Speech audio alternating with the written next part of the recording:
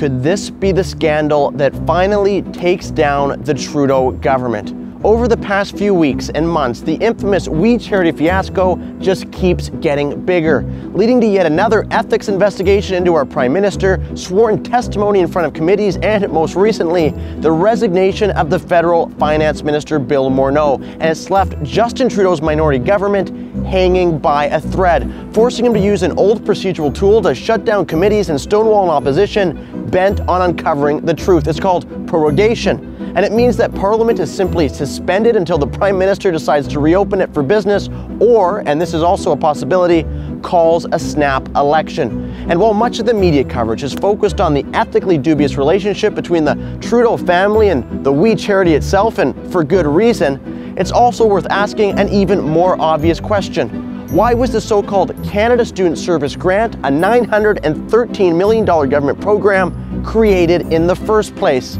Well, the government's stated goal was to provide students with jobs and charities with, quote, paid volunteers, while paying the organization known as We tens of millions of dollars to administer the program, which of course raises a couple of questions, such as what exactly is a paid volunteer?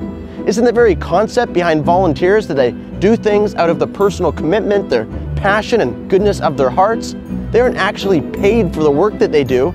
Otherwise, they'd be, oh, I don't know, employees? And as for providing students with summer jobs, the truth is many students across the country have consciously turned down existing work, some perhaps out of legitimate concerns surrounding health and safety, but others undoubtedly due to the mountain of free government money that's already available, content instead to simply collect CERB, the emergency student benefit, and the recently doubled Canada Student Grant. And as for actual charities, well, they do amazing work on so many levels, but they've been absolutely slammed by COVID 19. Their work is now that much harder to do, and their fundraising has fallen off a cliff.